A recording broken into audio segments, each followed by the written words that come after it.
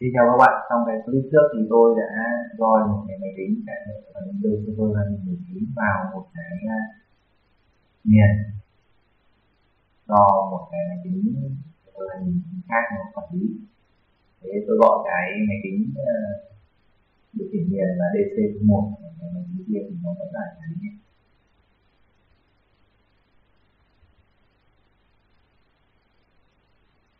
là cái Windows Server 2019 thôi thì bây giờ thì tôi sẽ muốn quản lý cái máy Windows Server này từ domain controller của tôi. Thì tôi sẽ phải ép thêm nó vào trong cái dashboard ở đây. Thì để thêm cái máy chính còn lại vào thì tôi sẽ vào menu ở đây. Tôi chọn là add server. Sau đó thì tôi ấn vào nút file nào tức là tìm ra cái máy tính ở trong miền của tôi và đây thì các bạn thấy là tôi có mỗi hàng máy tính, một cái là DC01 cái máy này, còn cái còn lại là cái RV01 sau đó thì tôi mới ấn nút này. Và cái này là selected, tức là tôi đã lựa chọn cái máy cái RV01 và tôi đưa nó vào trong điểm mà đây là phần hai phần logo. Cho cái con computer của tôi quản lý đó thì mình các bạn chờ một chút lúc này thì tôi sẽ có hai cái server, một cái là local server và một cái là khi mà tôi có local server và tất cả chúng ta có hai cái server, một là dc 1 là bản thân mình nghe hai là cái srv 1 đây thì nó lại như là access hai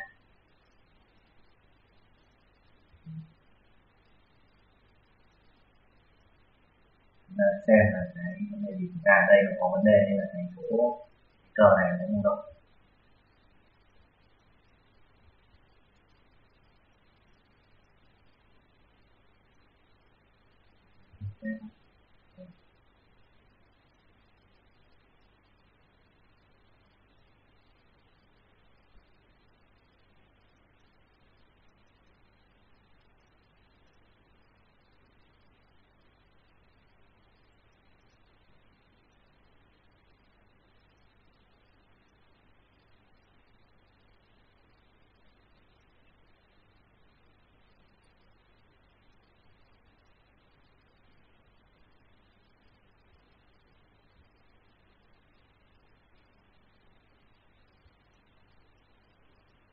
you ta đi quét nhưng mà nó không đi quét được.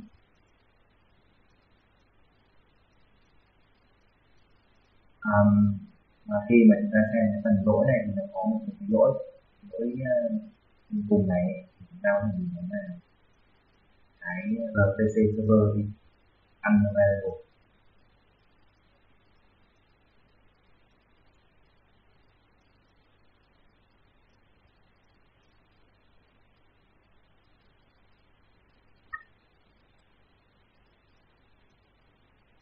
đây tôi sẽ phải đánh cái này lại và tôi sẽ quay lại cái này hình thức phải F ở đây thì tôi sẽ dùng để dùng cái tài khoản admin để quản lý F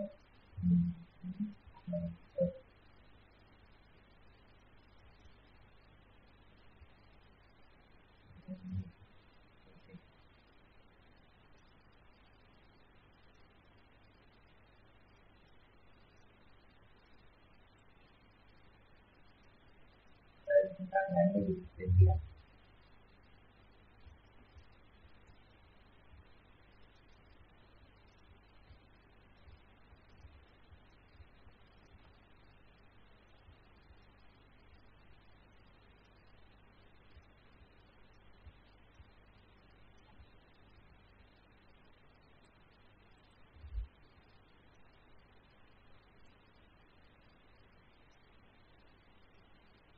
Đấy, các bạn thấy là lúc này thì chúng ta đã quản lý cái server SLV01 rồi. Lợi là nói access này là rồi chúng ta dùng cái user là TVA bây giờ chúng ta dùng hẳn cái user là admin tất nhiên chắc được luôn. Để tôi refresh lại em có thể đề gì xảy ra không vậy thì refresh nó cũng bị quên mà nó không refresh được cả cái